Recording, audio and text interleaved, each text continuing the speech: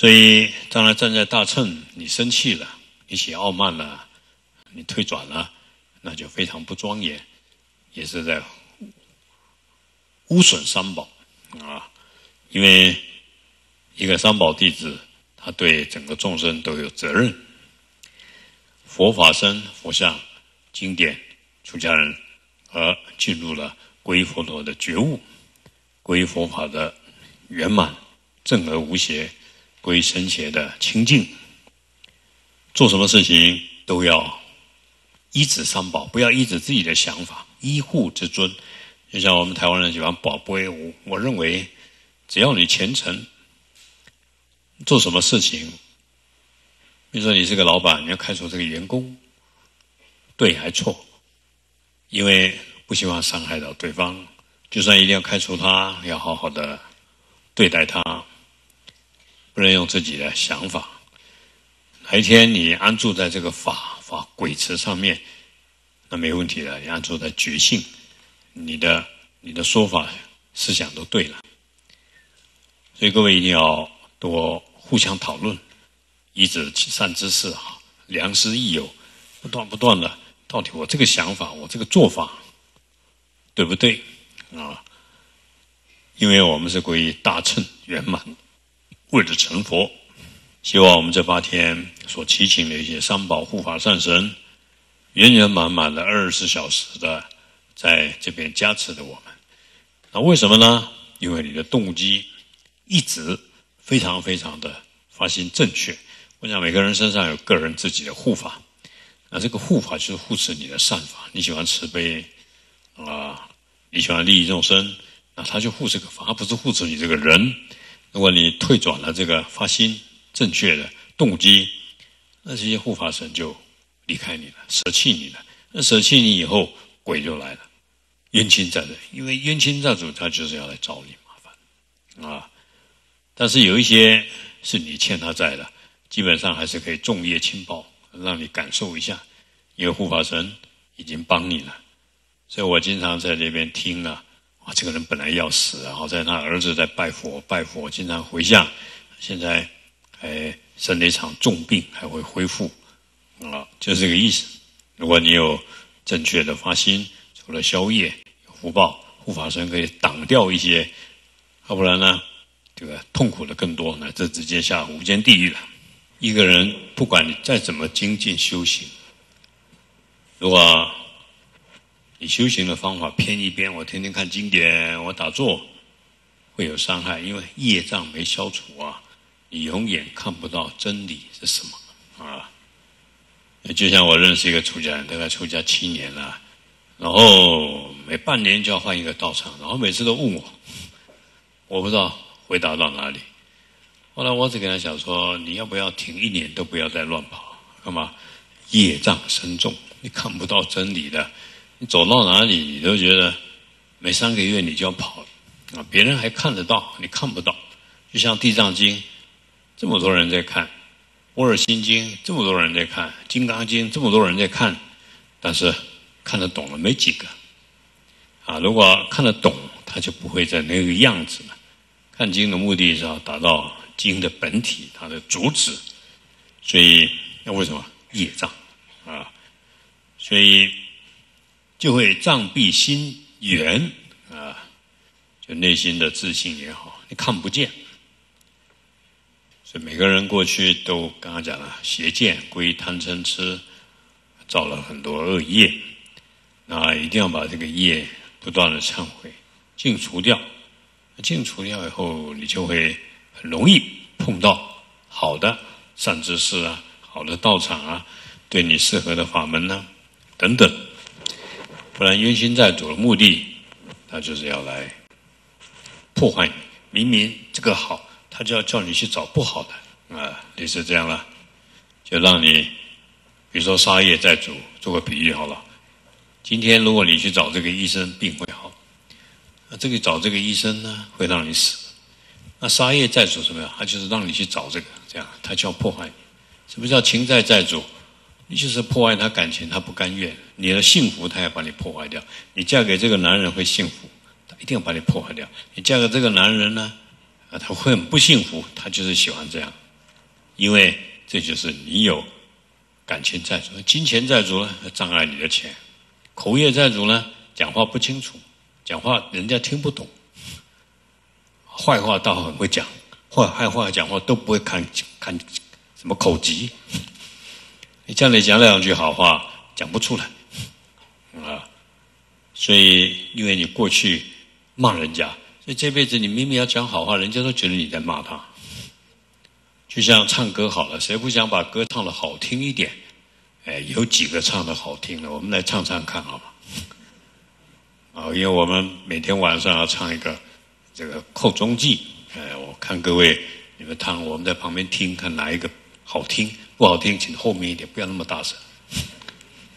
有意思。不容易啊，师傅，我唱的好听啊。这个时候就卡到面子问题，你干嘛说我不好听，对不对？这个面子问题就是因为你有我执，这样，而且你有业障，听不清楚，听不清楚好不好听，的口业在主，他就会障碍你讲话，甚至让你被骂。所以各种各种的，各种各种的，因为贪嗔痴所先生起来的这个债主，债主呢，这个牵连到业。啊，因为贪嗔痴造了这个业，业本来五分，债主就给你攻攻到变成十分的痛。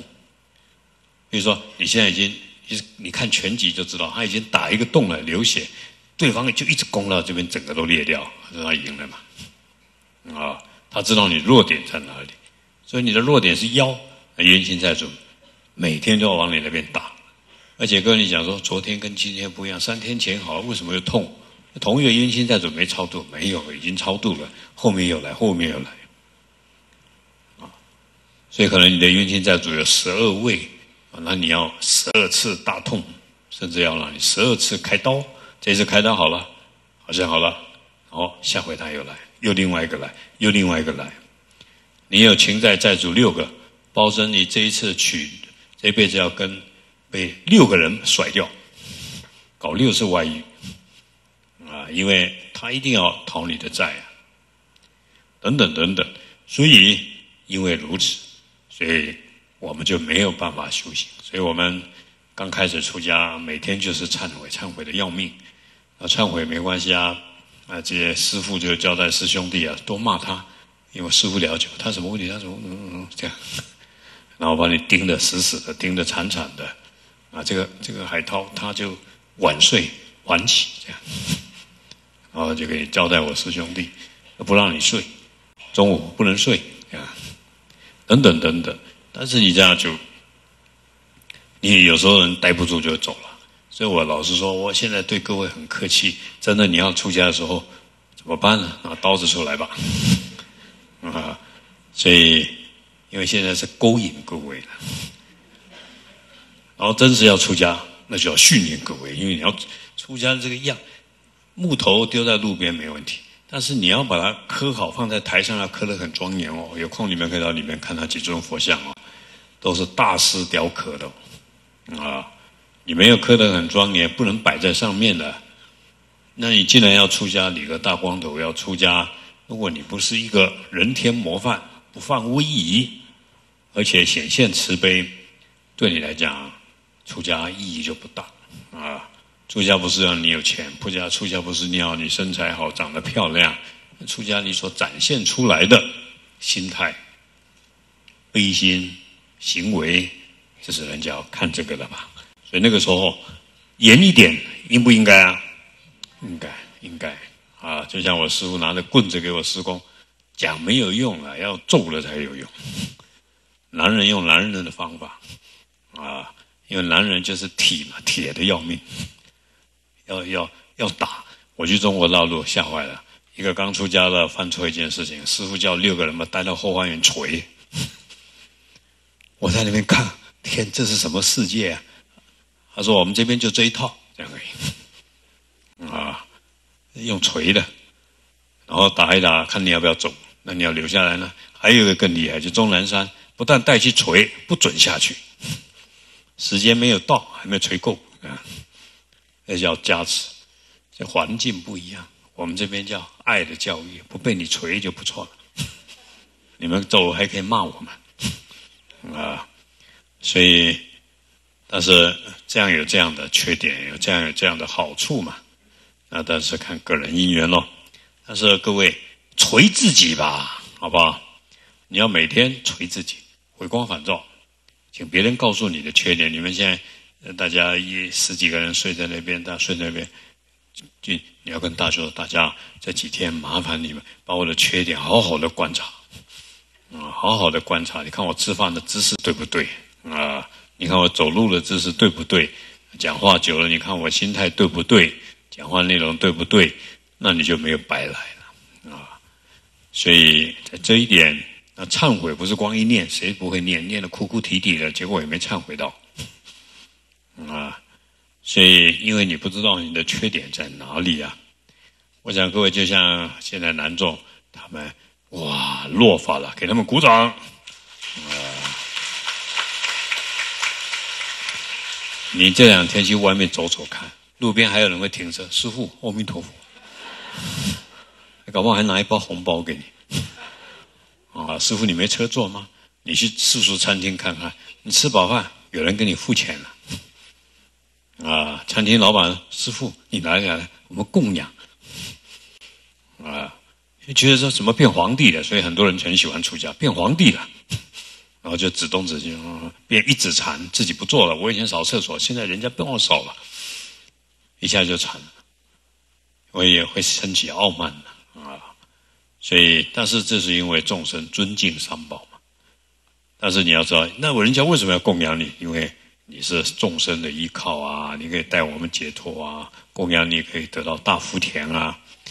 啊，那如果当然我们没有福报给他，那你下辈他供养你几次？你准备去那边洗碗吧，嗯啊，下辈子你可能就去做他儿子，好好去孝顺他了啊，因为你接受他供养，所以越越接受供养，那就要越越越认真。所以我们还要念消供咒，有时候 Om Pro 说哈啊，就希望我们这些福报啊，不然这下欠债可多了。所以了解自己的缺点。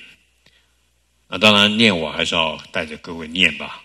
杀业的债主，偷盗业的债债主，邪淫情债债主，啊，苦业债主，喝酒吃肉的债主。那这些债来自于我们的贪嗔痴种种的烦恼、傲慢、怀疑、嫉妒，我们叫大睡眠、中睡眠、小睡眠，各种各种。那所有的这些烦恼，就来自于我们的我执。无名没有空性，这些一定要对治它，这学佛的基本出离心啊。所以找到自己的缺点，所以各位你也可以看得出来。我认为，自从我出家以后，就是做一个别人的模范。那我师父跟我说，穿衣服像我出家在台北恒春，后来回台北，台北又恒恒春。恒春是热的要命，所有出家人都是脱掉袜子啊，穿个拖鞋啊，穿个中褂，实在是热的要命啊！但是我师傅说，你只要站出来给别人看到，你一定要穿着长衫哦，啊！而且师傅送给我那一套长衫还冬天的哦，哦，没有你裸戏啊，啊！所以那当然我就严格按照这样。因为我从来都是这样，所以那我施工更严喽。你只要过去要跟他讲话，就像各位这样，要搭一慢一要搭好，你不搭好，没资格跟他讲话。他不是说找麻烦，因为他要留下这个佛教的一个传承吧，啊，不然的话，佛教就一代比一代差。那这些严格是你心里高兴的。如果你是一个修行者。你觉得这个越严越好，越严越好啊！所以各位也不要怕魔，魔会跟着你，是因为你不想修。如果你真的一直在认真，魔永远看着你，但是他碰不到你！但是他要二十四小时分分秒秒像找到你一个缺点来攻你。那如果有魔一直靠着你而伤害不了你，你是个大修行者啊！所以最后呢，魔要么就转为你的护法，不然就离开你。那当然，在这一点，还是希望早上说了，各位利用这七八天改变了自己，消了一些